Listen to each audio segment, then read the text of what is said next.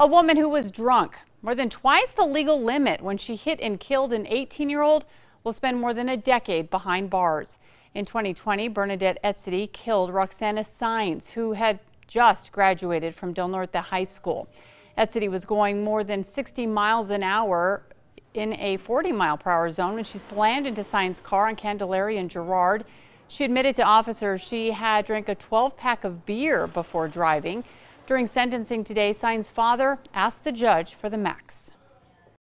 Pero lo que más duele es la ausencia But the greatest sorrow que no puedo is, volver a ver. um, is due to her loss because I can never see my daughter again. Judge Courtney Weaks did sentence Etsitty to the max, 12 years behind bars.